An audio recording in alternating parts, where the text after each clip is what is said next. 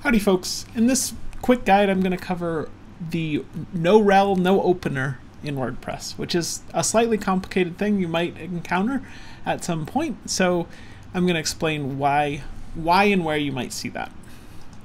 So by default, if I link to something in WordPress, let's go ahead and link to WP Shout itself from this post.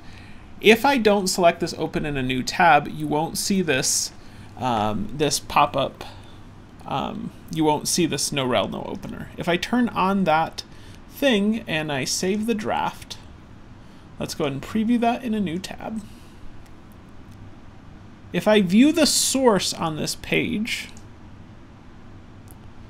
or inspect element, I prefer inspect element a little bit, I guess.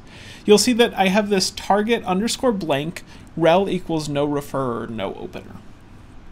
And so a few different things have happened that are worth understanding. Basically, that all happened because I hit open in a new tab. If I turn off the open in a new tab and I resave that draft, my preview should update if I recall, but let's refresh to make sure.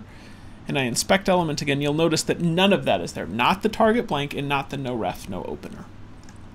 So again, basically telling WordPress you want to open that in a new tab adds this no referrer, no opener. And what does that mean? Really good article about this on uh, MDN. So no referrer, uh, keyword for the rel attribute of an A, which is to say a link, uh, tells the browser to omit the referrer header and otherwise leak no referrer information and behave as if the no, no opener keyword was also specified. So in point of fact, WordPress is doing us more work than we need um, to include both the no rel and no opener according to Mozilla right there. But basically this is what is happening is that target blank is saying open in a new tab or open in a new window. And the rel no refer no opener is all security measures that WordPress is taking on our behalf to make sure that not only does that site open in a new tab, but they don't have access to the user's browsing history.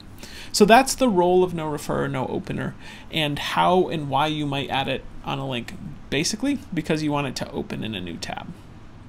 Really quickly, this no follow is about SEO juice flowing to things, and sponsored is a new way, in addition to the no follow, that they let you say that, hey, this link was paid for, and you know Google hates when people buy links. So that's why these two options are also showing here.